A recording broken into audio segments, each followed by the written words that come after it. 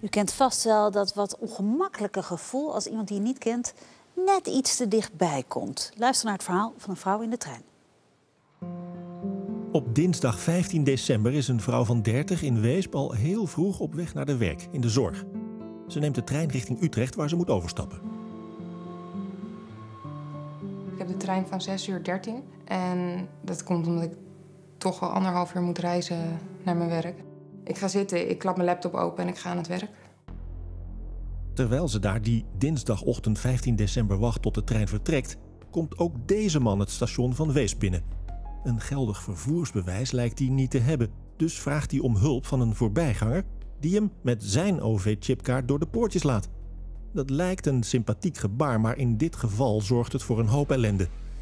Met de nodige moeite loopt de warm aangeklede man kort daarna het perron op en stapt in bij de vrouw. En toen zag ik in mijn ooghoek links over het pad zeg maar, iemand mijn kant uitlopen. En die ging op mijn hoogte uh, aan de andere kant van het uh, gangpad zitten. Wat ik heel apart vond, omdat de trein eigenlijk heel erg leeg was. Dus je kan overal zitten, dus waarom dan precies op dezelfde hoogte bij mij? Maar hij komt nog dichterbij. En toen rook ik de alcohol al. Het voelde niet prettig. Het voelde heel ja, raar. Me ook te dichtbij. toen uh, vertelde hij dat hij Rivaldo heette. Hij vroeg vervolgens wat voor werk ik deed. Dus toen vertelde ik dat ik in de zorg werkte. Um, en daarna ging het gesprek vrij vlot over mijn laptop.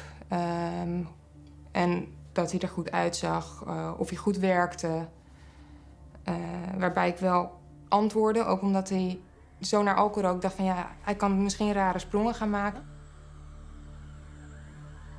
Bij de stop naar de bussum loopt hij wat zenuwachtig heen en weer.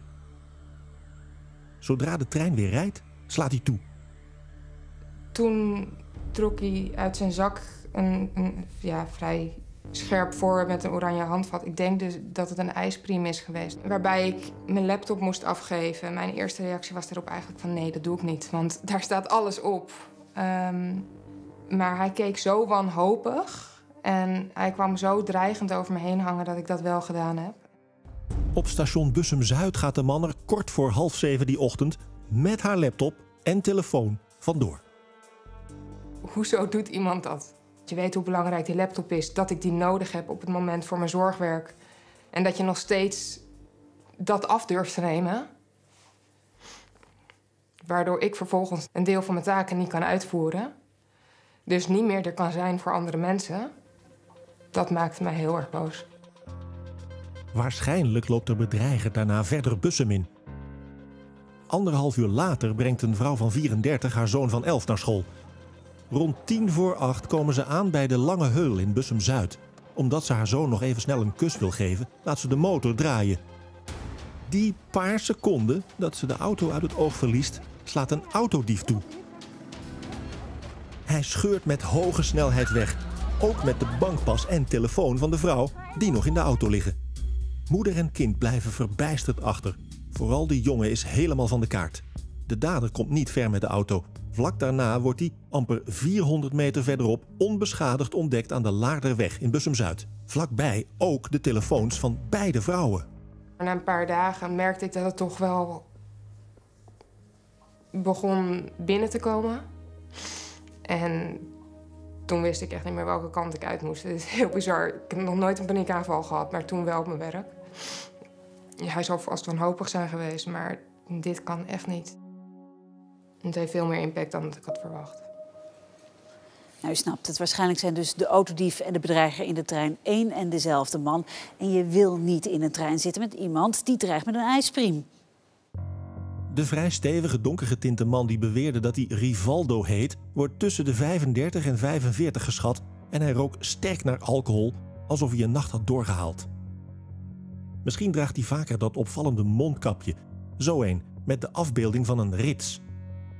De scherpe ijspriem waarmee hij dreigde, haalde hij uit deze schoudertas met opschrift.